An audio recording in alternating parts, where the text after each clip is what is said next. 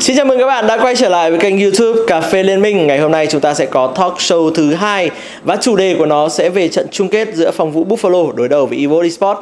Và để thêm phần gay cấn, ngày hôm nay tôi đã mời đến đây hai vị khách mời vô cùng đặc biệt và chúng ta hãy cùng xem clip sau đây để biết xem họ là ai. Get ready for the wildlife.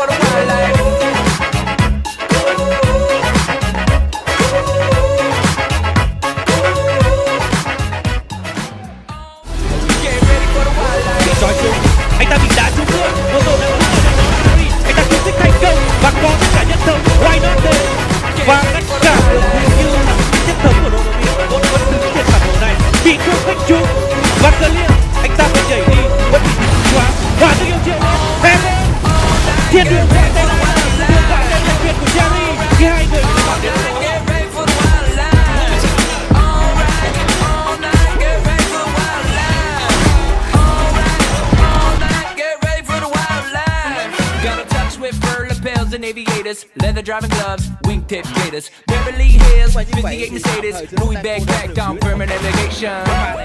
Time for the raw shot, don't be the night's still young. You can be Marilyn, I'm JFK. Got our own view on Pacific Way. The flashing lights, you're gonna lose your mind. Well, I already lost mine. So you ready for the night? And don't it feel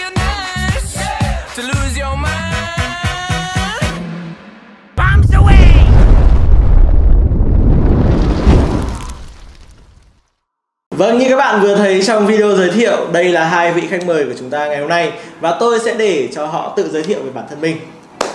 Hello các bạn, xin chào các bạn, mình là cụ tổ môi bò Wajon Chào các bạn, mình là Venus đến từ là tiếng Ấn Trường Sao lại uh, cụ tổ Warzone thì giới thiệu cụ tổ mua bò thế còn Venus? Em em em có nên có một cái đặc điểm gì đấy để Đặc điểm gì anh?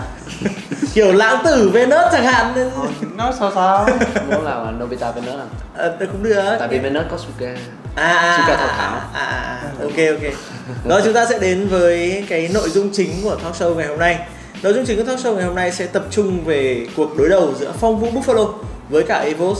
Đó là trận chung kết VCS nó sẽ quyết định xem ai sẽ là đại diện của đội Việt Nam đến với vòng play-in ở MSI 2019 này. Và MSI sẽ là cái quyết định để xem là chúng ta có được vào thẳng chung kết thế giới hay không Dạ. hay là có thêm hay là có thêm slot nào hay không. Thế thì à, đầu tiên sẽ làm câu hỏi cho cụ tổ Warzone. Vì em cũng là người đồng đội cũ của Evos người vừa mới xa rời Evos luôn Dạ. và vừa mới rời đi phát hiện Evos đến với trận chung kết luôn. Anh có nói em là cảm xúc thế nào khi mà thấy Evos đến với trận chung kết này à, Cảm xúc của em thì EVOS là một cái đội tuyển mà lúc trước em đã chung tem ừ. thì nó luôn luôn nằm trong my heart của em rồi à Trong team. ừ, nghĩa là chung team thì sẽ thật Trong team ở rồi. trong team luôn đúng Thì không cái lúc mà đánh với SGD á, mặc dù em nói là EVOS nằm ở trong my heart Ừ. Còn um, SGD thì nằm trong lý trí, Ừ. nhưng mà Ren Nhưng mà kiểu là thì đội nào may mắn hơn đội đó chiến thắng thôi Thì em thấy là à, EVOS nó kiểu là hình như là à, chiến thuật hơn nè do vì có một giờ huấn luyện nó quay vào Ừ. một là một phần là khiến cho cái cặp bot đó Ừ. nó nó trở nên là kiểu là nó an toàn hơn nó an toàn nhiều hơn với slay nên thấy là kiểu là nó sẽ mấy cái lane kia thì Di Dinh kiểu đánh go top nhiều thì kiểu là game sẽ cân bằng dễ hơn là lúc trước mà có slay nghĩa là ở ngày trước ấy thì khi mà ở đường dưới nó không có được sự ổn định ừ. thì Yijin sẽ phải xuống cả dưới nữa đúng còn rồi. bây giờ thì Yijin chăm sóc được cho với cả Ừ. ở mid nhiều hơn mid nhiều hơn đúng Nên là rồi Evos sẽ ờ, thành công hơn đúng không? thành công hơn Thế thì, thế thì anh hỏi nhá, thế là bây giờ nếu mà em đi mid thì nếu mà có một cái đội hình cân bằng như vậy em được chăm sóc nhiều hơn từ Yijin thì em nghĩ là em có là người đi đường giữa xuất sắc nhất về trên không? chuẩn rồi chuẩn rồi anh chờ em em là nhiều khi nhiều khi em xem em xem xong rồi em hỏi là ủa sao tại sao là nó quay sao lúc mình còn sao nó quay ông vô sớm hơn đi Ờ, thì nói thế này có sợ Slay tuổi không? dạ thôi quá nói thật lòng má Trời ơi, em là một con người nói thẳng Rồi, nói thẳng ra nói thật Dạ, nha, nói đôi thẳng. lúc cũng sẽ hơi mất lòng đúng không? Dạ, Ừ. em không sợ mất lòng Thế thì còn ờ, Venus thì sao?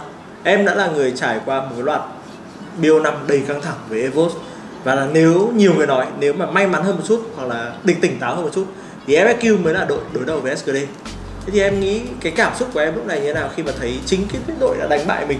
Bây giờ đến với trận chung kết luôn đối đầu với phòng Buffalo À, thì kiểu với em kiểu đã đánh giải thì nói chung may mắn là một phần ít hơn quan trọng kiểu là nào là luyện tập kiểu chăm chỉ này nọ thì nó mới có thể đưa những quyết định đúng đắn hơn thì kiểu tem bạn làm tốt hơn điều đó. Ừ.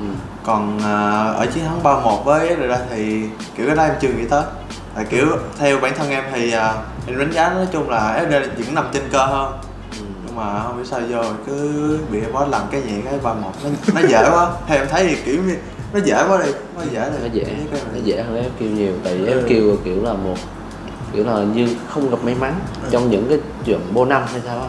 thì trận bô ba anh thấy là FFQ là một đội thi đấu rất là kiểu bùng nổ ấy Ừ. nghĩa là sẽ có những lúc tỏa sáng rực rỡ ấy mà tỏa sáng xong phát được gãy luôn này. là một chuyên là chùm one game luôn đúng kiểu phượng phượng hoàng hồi sinh ấy tại vì phượng hoàng hồi sinh nhiều quá gãy cánh nhiều, nhiều khi chưa kịp hồi sinh Thôi, đã gãy luôn nghĩ đấy. là điểm mạnh của FQ là đánh bô ba hơn là bô năm có thể là như vậy Ừ. thì ờ, theo Venus thì nếu mà được làm lại cái trận đấu với Evos ấy em có thay đổi một cái gì đấy không nghĩ nếu mà được làm lại ở ngay thời điểm mà đánh với boss thì nó chắc cũng không thay đổi được quá nhiều đâu Ừ. tại em thấy nếu mà được làm lại đi thì à, em thì muốn giống như là quay trở lại thời gian trước đó thì kiểu hy vọng mình đội mình kiểu như là Tập luyện chăm chỉ tập luyện chăm chỉ kiểu như tập trung vào này Ok. hơn tại kiểu chưa đi đó thì em kiểu bị khá kiểu giống như là vấn đề ở ngoài tác động vô á. Nên kiểu giống như vấn kiểu nó thành ra thì chen này nọ nó chưa ổn định. Cho nên kiểu vô chung kết thì ơi vô tới cái trận với Evos kiểu tem đánh kiểu như là không nghĩ tới tem có thể đánh tốt vậy đó. Thì nó chỉ mất vậy thôi nên nếu mà được làm lại thì kiểu quay lại thì trước đó. Nữa ừ. qua cái cách trả lời của Evos ờ, của Venus thì anh cũng thấy cảm giác là FFQ là một đội kiểu sớm nở và chóng tàn kiểu đánh rất phụ thuộc vào phong độ. Dạ, thì đúng. ngay cả bản thân bọn em cũng nhìn thấy đúng không? Dạ đúng. Là chính là thế thì nói về phong độ thì liệu hai người có cho rằng Evos đang là ở đỉnh phong độ cao không? Thì họ mới tiến sâu như vậy.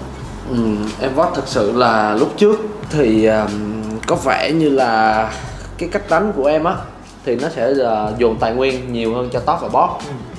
nhưng khi mà tài nguyên dần meta nó chuyển xuống bot á thì uh, kiểu mà xuống bot thì uh, dưới cặp bot nó lại không đáp ứng được nhu cầu nên đành phải chuyển lên cái top lại ừ. nhưng mà đến khi mà lên top lại á, thì cái meta nó kiểu là top xanh bao nhiêu nó cũng không đủ đúng thì lúc đó game nó sẽ rất là khó của chiến thắng ừ. nên là cần những vị tướng như em là chơi những tướng kiểu là mạnh từ đầu đến cuối trận như là Aji, Castro hay Rai đó. Ừ. nhưng mà khi mà mấy con nó bị nép hết thì bị chẩn meta lại. Ừ. và lúc đó sát thủ lên ngôi nha Kali, Ira đây nè là mấy cái thằng nhóc 2k đó lên ngôi À, à, à. đó nó dùng kỹ năng nó cứ bữa vô đầu em thôi. À, thế thì em nhắc đến kỹ năng ấy, thế thì em nhận xét thế nào về địa một à, địa một là ờ, thì nói chung là nó mới 17 tuổi 17 bẻ gãy sừng châu thì cũng đường nó cũng đường nhưng mà em vẫn tự tin À. em, em, em không sợ nào à Dạ. nhưng mà đã bảo là em bị meta bóp mà Thôi, em, em- sợ meta đúng không không em không kiểu là em cũng không có sợ meta lắm mà kiểu là một phần chắc do là em chán nữa chán Ừ. chơi kiểu Nghĩa là lúc đó là kiểu là mấy con tướng nó nó nó không có phù hợp với lối đánh của em nên Ừ. em không có thích chơi nên kiểu bị ừ thì có thể nó bị out meta ừ. với lại là cũng mình cũng không có là chơi mấy cái con mà theo cái meta nó hay kiểu hay giống như, Ừ. như bọn, bọn trẻ bây giờ thực ra là anh nghĩ là Warzone cũng thuộc dạng là người chơi lâu năm lắm rồi nghĩa là em hả đến một lúc nào đó em sẽ cảm thấy mệt đúng không Ờ, em thì ờ, ờ, thì như là tuổi trẻ đây tuổi trẻ là kiểu là 10 ờ, từ lúc 17 tuổi cho đến năm, năm 20 tuổi á ừ.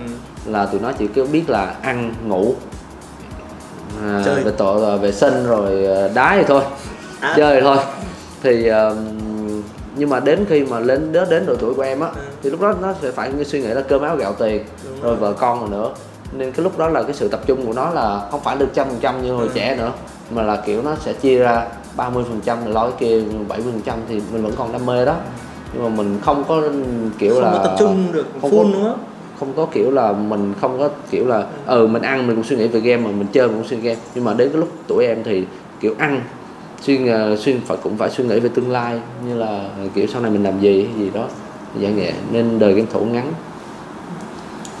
Còn Venus thì thằng Venus thì em trẻ hơn Warzone cũng tương đối đúng không? Thế thì em có cảm giác là cái cuộc sống game thủ của em bây giờ đang thế nào? À, thì nói chung kiểu hiện tại thì cái à, cái suy nghĩ của em với à, anh Wayon thì nó giống nhau luôn. À. Kiểu như là thời gian đầu thì chơi game thì ai cũng vậy ai cũng bị đam mê á. Nghĩa là muốn là muốn chơi game hết sức mình thôi không có suy nghĩ về những cái khác. Em thì cũng chơi tới hiện tại thì chắc cũng à, qua ai chơi được mấy mùa rồi ta. Chơi chắc Bốn năm nếu, nếu mà lên đánh giải là được hai năm rưỡi. Hai năm rưỡi. Thì đến thời điểm hiện tại thì em cũng kiểu như là thì chơi thì mình vẫn muốn chơi nhưng mà cũng đã bắt đầu suy nghĩ về kiểu vấn đề cho kiểu tương lai sau này của mình á. Tại thì kiểu như ví dụ như bản thân em hiện tại đây cũng đã có bạn gái quen rất lâu rồi. Ừ. thì cũng phải nghĩ tương lai này nọ. Nhưng mà kiểu như cái mức thu nhập của em ở bây giờ nó chưa được cao á. Ừ. kiểu nên phải suy nghĩ qua nhiều thứ chứ nếu mà mức thu nhập cao như nước ngoài thì mình tập trung chơi game thì nó khá rồi. Ừ. bây giờ kiểu mức nó ở cái đời thống thì nhìn nó nhiều vậy thôi nhưng mà kiểu để sau này kiểu như mình không có cái gì chắc chắn ở sau này á. Trừ mà kiểu như mình được quá nhiều thành tích chung kết giới này nọ thôi. Ừ. đó kiểu vậy. Là chỉ được có tiếng mà không có miếng. Kiểu là bên nước ngoài lâu em quá qua em có thấy thì nó em cũng có hỏi mức thu nhập. Thì thu nhập của nó có toàn là năm mười ngàn đô. Thì ờ, nghe em nghe nói game thủ bên đó thì có thể là mua được nhà mua được xe làm game thủ Ừ. mua nhà mua xe bình thường. Ở Việt Nam mình thì ờ, ăn ờ, ngày ba bữa chưa đủ thì thực ra là anh Luân cũng đã trả lời trong một cái tip của thanh niên game dạo gần đây ấy, thì esports ở Việt Nam nó mới đang phát triển đang trong quá trình đạt đến đỉnh cao chứ không phải là đạt đến đỉnh rồi Ừ. nghĩa là tất cả những cái phúc lợi cái thứ thì bây giờ nó dừng ở mức đấy thôi thôi có lẽ là chúng ta đi hơi xa rồi từ từ nhé Ừ. à, là anh sẽ quay trở lại với uh, trận đấu uh, Evos và Buffalo một chút Ừ. thì bây giờ xét kèo luôn đi mình mình nói xét uh, soi kèo luôn đi. So kèo. Ừ thì chúng ta đã nói về Evos rồi. Đã nói về cái cảm xúc hay là nói về những cái mà Evos đang làm đang có. Thì phong vũ Buffalo thì sao? Bây giờ nếu bắt kèo em bắt phòng vũ 55 phần trăm em Ừ. bắt 45 phần trăm. Tại vì là Evos là một tuyển tuy là được đánh giá thấp điểm hơn là phong vũ. Nhưng mà nó lại là cái thằng mà từ bậc thang từ cái bậc thứ 4 mà lên tới bậc thứ hai thì chắc chắn nó sẽ có phong độ tốt hơn phong vũ còn em thì nếu mà em giống thì em chắc là 60 40 ừ. Tại thì em nếu mà nhìn tổng quan đi thì em thấy uh, tất cả những đường của uh, phong vũ á, dục vẫn nhỉnh hơn em nghĩ là chắc có đường là bằng nhau Ừ. nhưng mà em thì đang được là kiểu như đó là phong độ vợ kiểu bậc thang từ 4 lên đó phong độ đang cao nhưng mà theo em cảm nhận thì trước chiến thắng của em với cả SRD á Ừ. thì à, nếu mà đến cái mức mà so kèo ngang hoặc là hơn phong vũ thì không tới Ừ. may, may mắn nhiều hơn Ừ. Thực ra là Phong Vũ đứng chờ trước ở trận chung kết ý, thì có cái lợi là họ xem được hai trận kia của Evo à, đúng thì họ sẽ đưa ra những cái lượt khắc chế. Nhưng mà theo hai hai em ấy thì cái sức mạnh của Phong Vũ bây giờ ấy đang tập trung ở đông. Tất nhiên là cả năm cả cả năm người của họ thi đấu đều xuất sắc rồi nhưng mà anh đang muốn nói là nếu mà trong một cái tình cảnh ví dụ Phong Vũ rơi vào một trận đấu khó khăn thì cái người nào mà mọi người sẽ kỳ vọng và có khả năng gây đột biến nhất trong đội hình của Phong Vũ Và theo Warzone à, ai trả lời trước thì nữa? em thì à, nói chung là em không hồi xưa em không có ở tay phong phú nhiều em biết nhưng mà em nghĩ là nếu mà điểm mạnh ở đó chắc là của mấy thông tin ba lép hay sao à? hay là mai dương em cũng không biết nhưng mà Venus là người rõ nhất thì để Venus nói. Đúng rồi thế rồi để Venus nói. Khi xưa thì à, lúc hồi xưa còn em thì à, người mà kiểu hay đưa những quyết định chính xác nhất là kiểu uh, nôn người hay kiểu tạo đột biến. Ừ. còn thời điểm hiện tại thì giống như kiểu ví dụ đánh với phong vũ đi thì giống như kiểu lúc nào mình cũng phải lo sợ là à trên đó có ma dương À, đó, ừ. cái khả năng thắng trên đó mình nói nó hơi thấp kiểu còn ở hiện tại nếu mà tính kiểu như là ai có thể gồng gánh cả team á những thời khắc quyết định thì em nghĩ là đó là Bicuro ừ. ừ. Micro đúng không nghĩa là dù ma vương có tỏa sáng cỡ nào Naun có đè đường cỡ nào thì những cái lúc nguy cấp vẫn chúng vẫn có thể uh, trông chờ được vào xạ thủ Micro đúng không? Thì là- thì bây giờ đánh giá trực tiếp luôn đi sẽ là No Way với cả Ronopi đối đầu với cả Micro và Palette và em đánh giá riêng cái kèo đường dưới đấy nó sẽ là như thế nào? Đây thì một người đã từng thì thi đấu với à, em rất nghĩ lâu. là sau khi nhìn hai cái màn à, tiền giữa FQ và à, kia và FQ và SGD thì em thấy là có vẻ như là Di Dinh cũng có vẻ muốn đánh boss lắm đó Ừ. là kiểu là lấy lấy sơ cho cho tem kia xong rồi rồi. nó từ dưới boss sẽ đè lên thì em nghĩ là bên phong vũ thì thằng Melodidas á nó lại thiên về đánh top hơn thì à, nói chung cặp boss hai cặp boss á nó quay là một dạng à, xạ thủ mà kiểu là hòa hòa hoài luôn ừ. chứ không có thể thua hòa mà kiểu xài não á Ừ. còn ở dưới box thì Piccolo và Violet cũng kiểu vậy thì quan trọng là thằng Dung nào nó biết khai thác thôi ừ. Em nghĩ là trận đấu đó sẽ tập trung vào vô Dung á. Dung nào đi tới đường nào sẽ có án mạng đường đó. Thế còn Venus thì sao? Em thử làm một người đánh được cả rừng với cả support. Thế thì em dự đoán là xem cái, cái kèo đường dưới này nó sẽ như thế nào? À, nếu mà so xét về kèo đường dưới thì à, em vẫn nghĩ là kiểu có thể là Norway đánh lâu có kinh nghiệm hơn. Nhưng mà sau khi đánh với Norway thì em thấy kiểu như là cái boss thì mình sẽ đánh là kiểu à, cẩn thận đánh hòa thôi còn kiểu tay nếu mà theo cảm nhận của em đi thì là kiểu người mà đang đánh kiểu như tạo cố gắng kiểu tạo thế cho tem nhất là rừng. Rừng sẽ đánh à, đánh táo hoặc mid không rồi cặp boss chỉ cái việc farm tới giữa game thì mới bắt đầu có thể sử dụng. Còn bên phòng vũ thì họ được cái giống như kiểu là giống như theo cảm nhận của em thì cặp boss giống như là họ đánh giống như kiểu giống như là setup ra những cái thế những cái thế ví dụ như là kêu rừng ra là chắc chắn thể chết họ giống như kiểu là có thể nhìn kiểu đưa những quyết định hơn là thay chỉ vì là đứng phòng hòa chờ tới giữa. Họ có thể làm nhiều cái hơn như có ballet này kiểu quan sát cái thứ. Nói chung là đánh với họ em cảm giác như là một khi mà thằng rừng nó đã đi xuống bó đó là một trăm trăm sẽ có mạng. Là kiểu như nếu mà làm vậy thì do lane setup tốt thì ở đó thì nếu nó thẳng thì ba lane lane nào cũng biết cách setup cho rừng ra. Nói chung là găng là perfect Đó, Đấy là sức mạnh của luôn. Vậy là Evos em nghĩ là Evos đổi vô quay bởi vì sao? Bởi vì đơn giản lúc trước lối đánh của Slay với Ronaldo á thì cũng là kiểu pham hòa. Nhưng mà pham hòa về lay. Slay lại bắn lại bắn không tốt. À, nhưng mà ờ, kiểu là no quay cũng pham hòa. Nhưng mà no quay lại về lay lại biết bắn biết chọn vị trí combat hơn thì no quay sẽ là đáp phương án tốt nhất.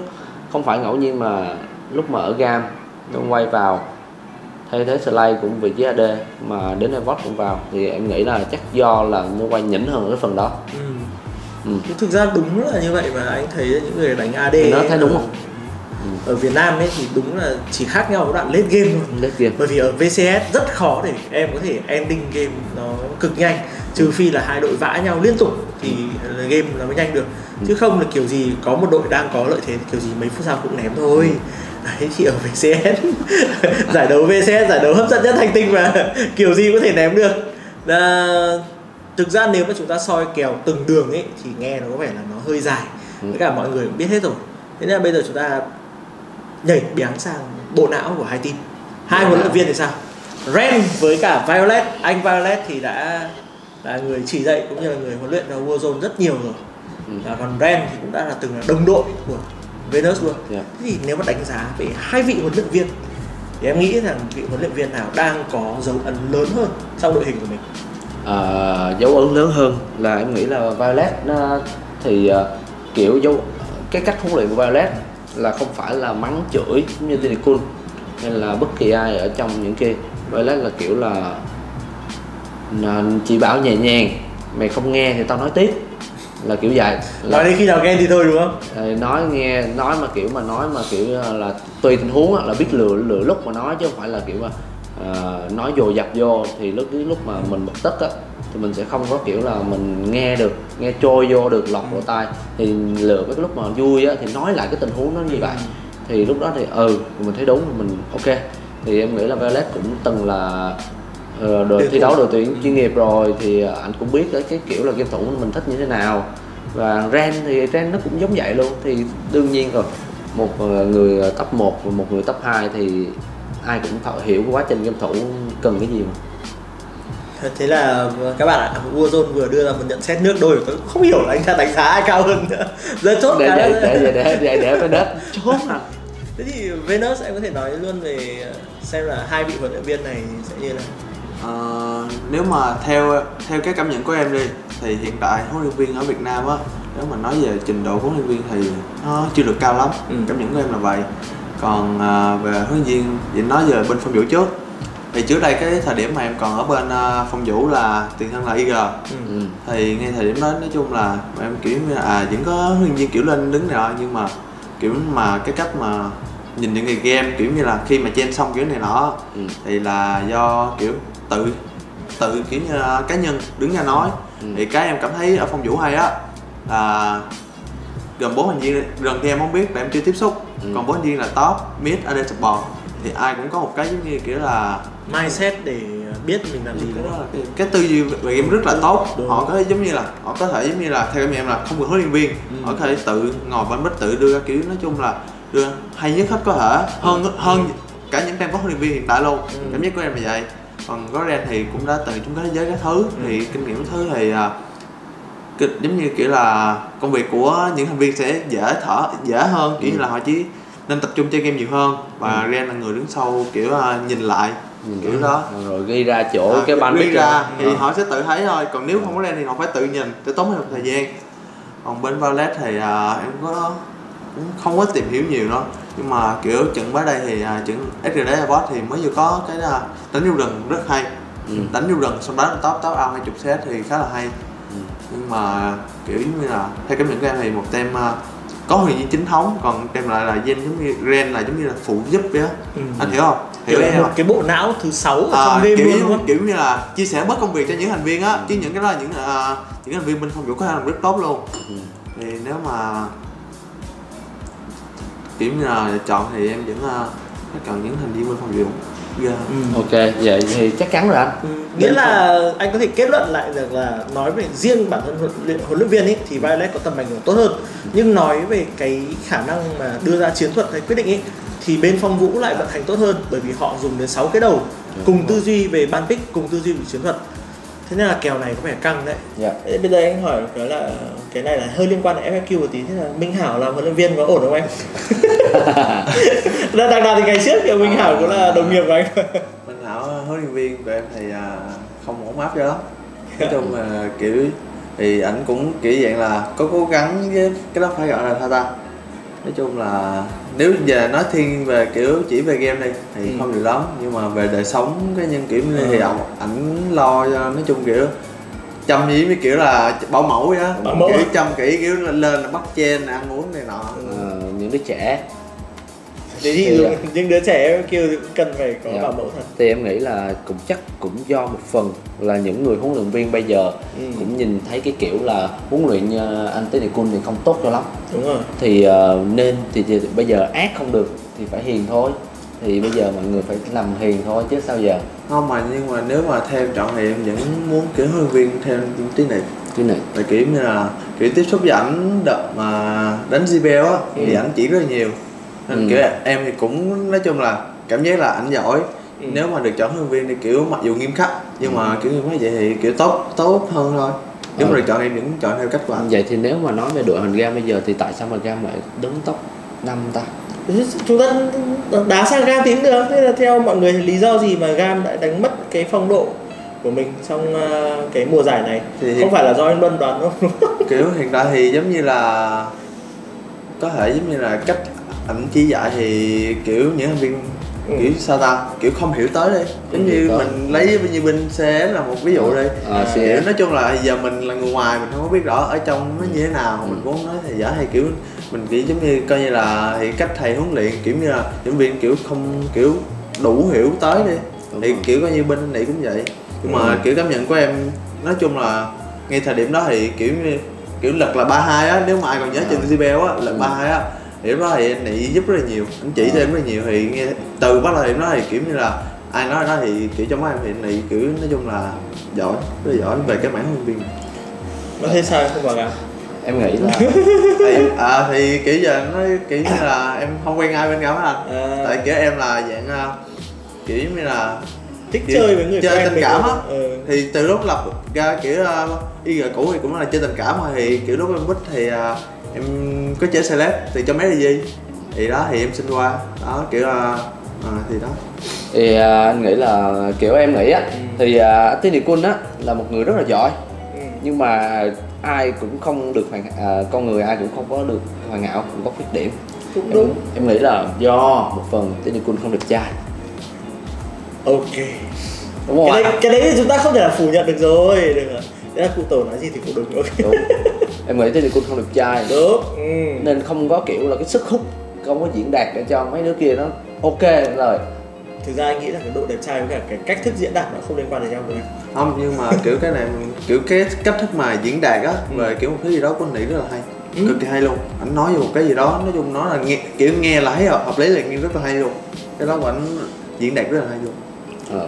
vấn đề đẹp trai vậy nó không liên quan nhau kiểu để đẹp trai để cho kiểu mình ngồi mình tập trung mình nhìn hơn mà nó là nhìn cho con gái nha Ờ. mà tập trung thì kiểu nhìn trai thì nói gì còn cố cố nghe xíu. Thế thì Kiểu em nghĩ bây giờ nếu mà tự nhiên có một huấn luyện viên nữ của liên minh huyền thoại thì nghe có, có có vẻ hợp lý hơn nó nghĩa là vừa thu hút mà người ta biết đâu người ta mà giỏi nữa thì có phải là thì cái luyện đó là, nếu ví dụ như em thì chắc chắn là em sẽ không bỏ một giờ trên nào luôn. Giờ nào có duyên là em sẽ ngồi trên máy tính à, nói gì cho nó lẹ. Em mà mỗi là- lần lên đánh giải là em móc luôn á em sửa luôn á thật sự nói chung là huấn luyện viên huấn luyện viên nữ á, thì thực sự là trong cái môi trường nam thì không nên. Em nghĩ là ừm, và lý do đầu tiên ừ. là mấy thằng em nó không tập trung được. Ừ. và lý do thứ hai là bình thường thì chơi game mà thằng nào cũng nóng hết thằng nào cũng cởi Ừ. trần hết. Lỡ nhìn bây giờ ví dụ em cởi đồ ra cái thì huấn luyện viên nhìn cũng cởi trấn vậy thì lại cởi- căng quá.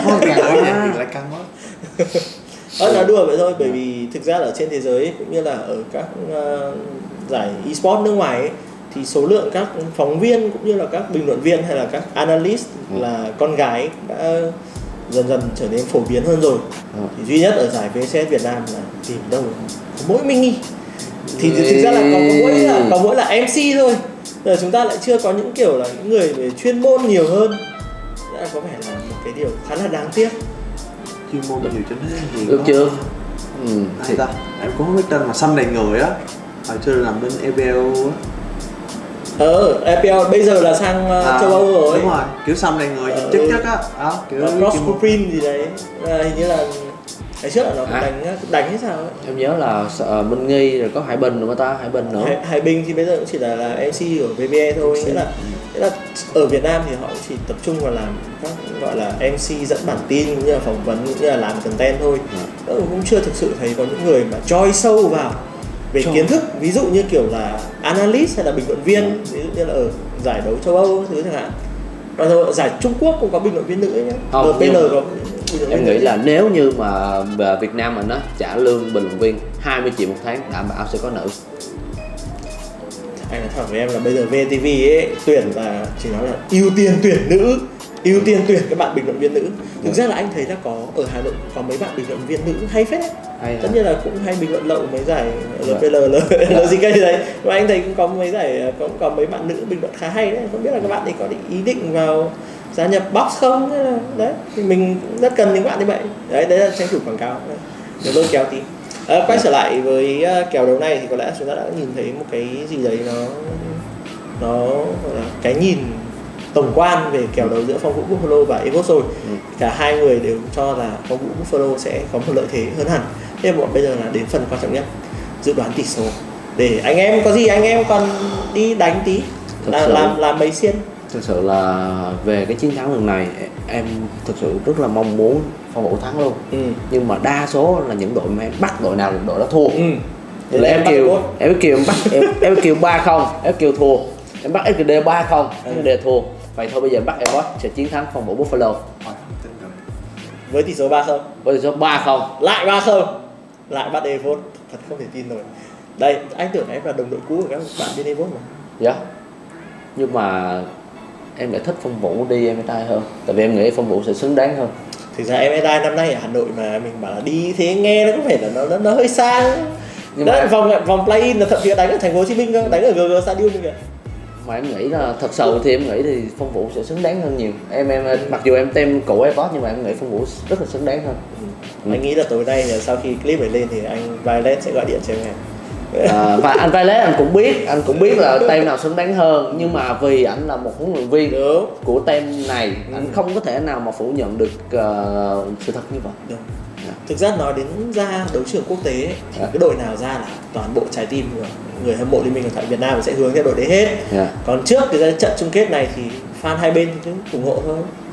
Thế còn Venus thì sao? Em dự đoán cái kèo là tỷ số là bao nhiêu? Em cũng đã biết là lý do tại sao mà bọn em trượt chân trước Evos rồi đấy. Đây Em lại thì- ám hơi nặng. Kiểu như là em thì kiểu suy nghĩ của em thì nó chắc cũng nghiêng một chiều chắc ba không hay ba một thôi. Nhưng mà em thì chắc ờ, kiểu như đánh vui muốn cho game nhiều hơn đi. Càng nhiều thì mình càng được coi thôi. Nhưng mà kiểu ờ, em thì em lại muốn Airbot thắng ừ.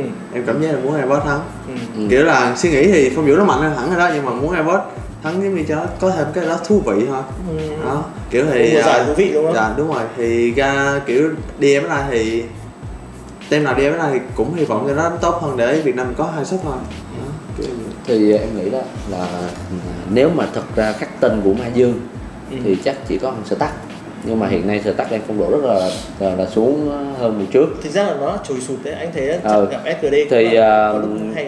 em nghĩ là một phần là chắc do là team ừm, ờ, áp lực lên áp lực lên nó nhiều Ừ. và phần thứ hai là hoặc là do nó bị ameta thì em nghĩ cái phần ameta sẽ dính nhiều hơn tại vì sẽ Ừ. đánh đánh nó đánh thiên về đam chứ không phải nó đánh thiên về tăng anh thấy dạo gần đây thực ra Evote đang là đội thích ứng meta tốt hơn nhé bởi vì những cái lượt ban pick trong trận SKD ví dụ như là Hekarim đứng trên với cả Kennen đứng trên ấy là rất là rất Hàn Quốc.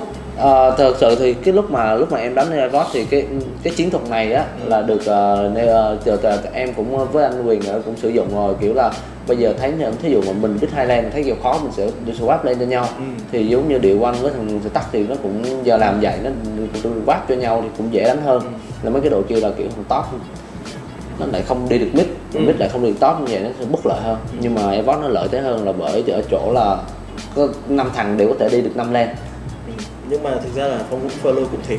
Ừ, phong vũ follow cũng vậy. Nhưng mà kiểu là em nghĩ là nói sao ta? Ờ, nếu Chắc mà có được, lẽ. nếu mà được thì chắc là bọn nó sẽ pick theo cái kiểu cái kèo đi chết ở đường giữa luôn đấy. Cái kèo ở đường giữa đường giữa thì Naun với địa quanh ừ, em nghĩ là Naun sẽ nhỉnh hơn. Ừ. nhưng mà địa quanh thì ờ, kiểu là nó trẻ. chơi- mà. ờ, cũng trẻ đó. Cũng trẻ. Mà nó đang ở độ tuổi 17 nữa. Ừ, sợ nó bẻ gãy sừng châu thì ờ, em sẽ đánh giá kèo ở mid thì Naun 60 thằng địa quanh này 40 nói chung là tất cả chúng ta đều cảm giác là trong trận chung kết này là Evos đã đến rất gần với phong vũ rồi. Nghĩa là không phải là không thể thắng. Ừ. nhưng mà cần phải cố gắng nhiều hơn. Đó. Thế thì à, thôi thì à, chúng ta bây giờ là đá sang MSI đi chứ theo em nghĩ thì à, bây giờ Hàn Quốc ai sẽ đi nhỉ? Đang có Griffin với SKT ấy. nếu như SKT đi á thì chắc chắn là với kinh nghiệm của mình SKT sẽ vô địch MSI Ừ. nghĩ vậy Ừ. thì thôi để cho Griffin đi đi để coi nó có vô đánh lại mấy thằng Trung Quốc không À, đúng rồi đấy, tại vì là thế, chung kết thế giới năm ngoái người ta cũng bảo là nếu mà Griffin đi ấy, Ờ. thì mọi thứ sẽ khác. ừ Ừ.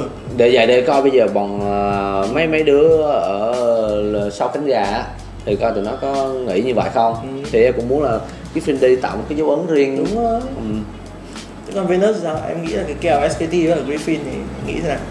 À, em thì à, nếu mà xem những trận ở đây thì em nghĩ SKT nhỉnh hơn Ừ. nếu mà SKT là thì có thể được gọi là kiểu như là kiểu sao ta Hồi trở lại á. kiểu Ờ. hồi sinh trở lại á MQ đúng không? Lại MQ nhưng đúng mà không? thì kiểu em thì cũng giống như là hai trận uh, chung kết Suzuka này thì em cũng có giống như VCS ra nếu em kiểu cái đội mạnh hơn á nhưng Ừ. mà em lại muốn cái đội kia nó thắng hơn giống như là giờ SKT Griffin thì em vẫn muốn Griffin thắng hơn giống như là phong vũ Evo em muốn Evo À, kiểu như cái đội đó nó hấp dẫn hơn vậy á nghĩa là Venus luôn luôn là thích nằm kèo dưới đúng không? Dạ. kiểu dưới Cái hình, hình em, như cái, cái, em cảm giác vậy nó hay hơn cái tâm lý mà hay đánh kèo dưới này tôi thấy quen quen ấy. Hình như thanh niên Uzi của chúng ta U- U- Uzi Hà ấy thì cũng, Dạ. cũng, cũng hay là chuyên môn chỉ đâm kèo dưới thôi đâm kiểu dưới không bao giờ đâm kèo trên vậy nếu mình ở trên nó có lợi thế gì không? tâm lý tâm lý hay là mình là kèo trên đấy hả thì À, mình, mình- chỉ là gây áp lực cho bọn nó thôi thôi gây áp lực ở dưới là sẽ ở được. dưới ở- ở dưới là Được. sẽ là rất tốt cho những người đâm ở bên ngoài vào À, Kiểu, ok. ờ, bây giờ thì chúng ta cũng đã có lẽ đến với gần cái kết của talk show rồi thì rất là thực ra là bản thân anh thấy rất là tiếc bởi vì talk show này chúng ta sẽ phải khai thác quá nhiều về chung kết của VCS chứ À. không thể là khai thác được vào cái cuộc sống riêng của hai người được À. mặc dù là game thủ thì anh biết là có một cái chỗ để giải bày tâm sự hay là giải bày kể chuyện của mình thì cũng rất là ít rất là hiếm. Hồi xưa ở VTV anh định làm thế rồi mà chưa kịp làm rồi ta anh nghỉ. Rồi rồi, bây giờ kết thúc lại với cái talk show này, chúng ta sẽ đến với phần gọi là nếu bây giờ được chọn một đội hình để đấu với phong vũ Buffalo mà có thể cân được kèo, thì hai em vốt đội hình như nào? Bắt buộc đội hình phải có Warzone và Venus, chọn ba người còn lại. Chọn ai cũng được miễn là người Việt Nam. Không? Nguyễn là người Việt Nam. Miễn là người Việt Nam. Nhưng mà không được lặp lại nha em. Anh ăn biết phong vũ Buffalo. Là ăn phong vũ Buffalo. Không được lặp lại. Nghĩa là chỉ xuất hiện một một người thôi. Đó nghĩa là không thể nào mà Warzone đi hết tất cả đường được nghe chưa? Anh cảnh báo trước đấy không được Warzone, Venus, Celeb, Stack, Yijin Ừm. Thế nghĩa là khi mà anh... rồi đấy là đội hình của Warzone thế còn đội hình của Venus thì sao? À, đội hình của em thì à, top chắc là kinh dây ừ. top em sẽ chọn kinh dây thôi. Tại kiểu kinh dây hiện tại đang đánh nói chung là bị chấn thua ở tay nhưng mà đánh rất là tốt. Ừ. còn rừng thì người việt thì nếu mà chọn những option cao thì chú à, mình có level với sọt em thì à, em chọn sọt ở mid Wayon thì AD à, hiện tại cũng là celeb là support lane nghĩa là đúng là nếu mà để Venus đánh support thì bây giờ AD hợp lý nhất cho Venus chắc là Celeb đúng không? Dạ, tại Đúng. kiểu một phần là em kiểu chuyển qua vị trí support này là à, một phần là ngay thời điểm đó là em kêu uh, hơi thọt support Đúng. rồi cái thứ hai là em chơi theo cái celeb Ừ. nếu như mà tên đó không phải celeb ở đây, đây kiểu một người khác đây Ừ. thì em sẽ không đi support em sẽ Ờ. chuyển đi rừng em thì Ok. kiểu muốn chơi như mày chơi thân với em mới chơi nhau được Ừ. thì ngay lúc đó sẽ mới kêu Ê bùi có gì mày đánh thử support đi Ừ. thì em nói là chơi thân thì chơi thử thì nó được thì nên em tiếp tục chơi thôi nếu là Ok. người khác thì em sẽ không chơi những điều như vậy là cả hai người đều đã đồng ý Ờ, là AD tại- tại vì Celeb. em là một kiểu là dạng đánh về đánh về hỗ trợ tài nguyên cho Ừ. hai đường kia cho top và bot thì nên là bởi vì em tại sao em chọn vậy tại vì Yijin với Stack á là hai thằng đánh trên top rất là Ừ. hay nó đánh Ừ. kiểu là ăn ý với nhau mà dưới bot thì Celeb với Venus cũng đánh ăn ý với nhau. Nên cái việc mà em kiểu đi dồn tài nguyên cho nên muốn muốn dồn tài nguyên như nào rất là dễ. Ừ. thì em nghĩ là cơ hội cạnh tranh phong phú rất, rất là cao. Cỡ phải là nó năm năm mươi lăm phần trăm á. Ừ. thực ra là tại sao mà tôi lại hỏi cái như này? Bởi vì rất có thể là bản thân tôi sẽ xin làm một cái show bắt nhẹ. Nếu mà phong vũ follow vô địch thì chúng ta có thể set up nhưng mà đấy là chuyện của tương lai nhưng mà Dạ. rất có thể là chúng ta sẽ có một màn như vậy. Thì ra đội hình của Warzone sẽ dễ dễ set up hơn đấy. Dạ. Đội hình của Warzone thì dễ có thể là dễ liên lạc hơn nhưng mà đấy là chuyện của tương lai rồi à, còn à, một lần nữa thì xin cảm ơn Warzone với cả Venus đã bớt thời gian đến đây để tham dự buổi talk show của cà phê liên minh. À, trước khi à, đến với phần kết của chương trình thì các bạn có thể gửi đến à, các bạn khán giả của cà phê liên minh cái điều nhắn nhủ gì không? Hay là thích thích gửi gì nữa thích nói gì nữa? Ok để em nói trước. đấy, nhờ nhìn vào camera. À, cái nói em luôn Ừ, Cảm ơn tất cả các bạn cà phê liên minh đã luôn ủng hộ Venus và Warzone thì à, nếu mà như mọi người à, yêu Venus và Warzone thì ấn số 1 ghét Venus và Warzone thì ấn số 2 và nếu mà muốn hung hai cái má của hai bạn hai tụi mình đó, thì ấn số 3 à, và các bạn nhớ một like một share một đăng ký kênh. Và đừng quên comment phía dưới cho mà tụi mình biết là tụi mình sẽ cần làm cái gì để cải thiện bản thân hơn nữa. Cảm ơn tất cả mọi người. Chào tạm biệt mọi người. Vâng và talk show thứ hai của chúng tôi cũng sẽ xin được kết thúc ở đây. Nhớ bấm like, share và subscribe kênh YouTube của Cà phê Liên Minh và cả kênh YouTube của cụ tổ Warzone nữa. Venus bao giờ có kênh YouTube thì chúng tôi sẽ share sau. chúng tôi sẽ để link ở bên phần bình luận bên dưới. À, cảm ơn các bạn đã theo dõi. Bây giờ thì xin chào và hẹn gặp lại. Bye bye.